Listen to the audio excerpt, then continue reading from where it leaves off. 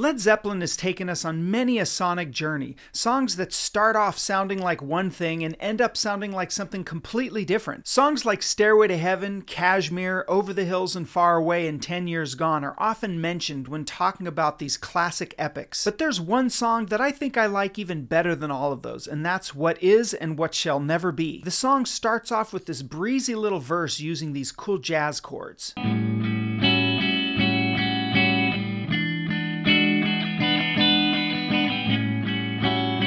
what really stands out during the verse section is the bass part.